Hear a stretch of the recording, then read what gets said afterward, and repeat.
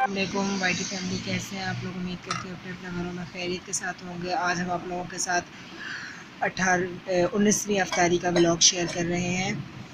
ये हम लोगों ने लोबिया बॉईल करके रखा है चाट के लिए। ये लोबिया चाट हम लोगों ने इसी की बनाई है। और ये फ्रूट चाट है जिसमें इसमें हम लोगों ने खरबूजा शामिल किया है, केला शामिल किया है, सेब शामिल किया है। और ये चना चाट है।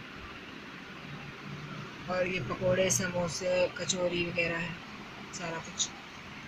और खजूर है ये दो किस्म की। और चाट मसाला और और शरबत आज हम लोगों ने ये बनाया है, तुक मलंगे वाला बनाया है। लेमन का शरबत बनाया है जिसमें हमने तुक मलंगा शामिल इसमें कर दिया है। और ये सालन बनाया है हम लोगों ने दूध के लिए, आलू गोश्त का थोड़ा सा। और ये क्रश करके रखे हैं धनिया वगैरह और ये चाट मसाला है और ये चटनी है इस, इस चाट के लिए। अच्छा माइटी फ्रेंड्स अल्लाह हाफिज़। उम्मीद करते हैं अपने घर में होंगे आप लोग। तो बीसवीं अफ्तारी के ब्लॉग में मिलते हैं हम आप लोगों के साथ। अल्लाह हाफिज़। फ्रेंड्स मैंने कहा कि आप लोगों को दिखा दूँ एक चीज़। आज यहाँ पे पिंडी में बारिश होने वाली है। बहुत ही खूबसूरत मौसम बना हुआ है।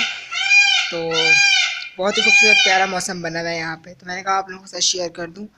और ये अंगूर की जो हमारी बेल थी तो ये उस वक्त मैंने आप लोगों को बताया था और अभी देखिए अंगूर के माशाल्लाह निकल आए हैं।